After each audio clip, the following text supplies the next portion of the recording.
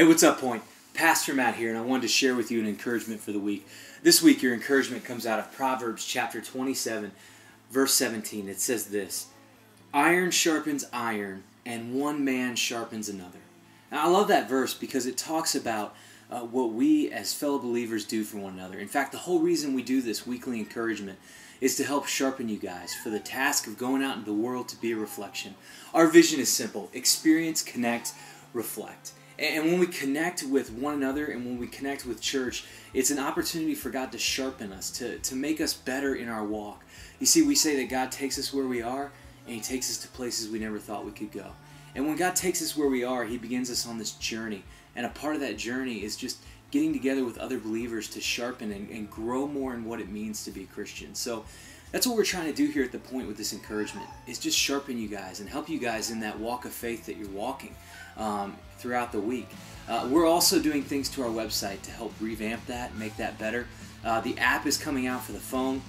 That's designed to simply help give you guys some other discipleship resources or some tools that will help you sharpen your faith uh, as you go out to be able to walk it uh, closer to God each day. But also, our website is being designed to do the same thing. We're going to be putting resources on there to help you guys with uh, getting more into Scripture. A whole connection book is going to go on the website. Uh, of course, events and stuff like that you can find, but also we're going to add a Get Help section. And that Get Help section is designed to help you with whatever it is you're wrestling with. Uh, find places to, to get help with that and, and to just find other people that can help sharpen you as you wrestle with whatever it is you wrestle with in life, because we all wrestle with something. Uh, so it's kind of a scatter approach, but that's the whole idea of this iron sharpens iron. It's getting around other people that can sharpen us, that can make us uh, stronger in our walk of faith as we move closer to God each day. Um, that's kind of our goal for that. Also, that's the reason we do Guys Night and uh, Girls Night.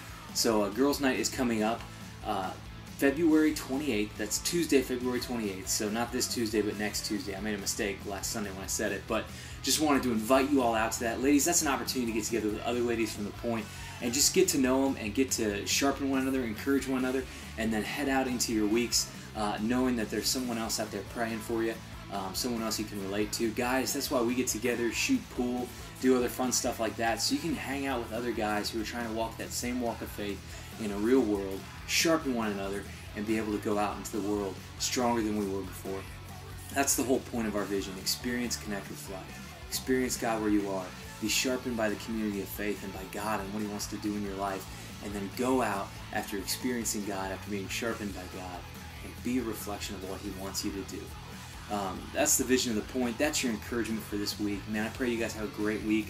In prayer for you all when you fill out those connection cards.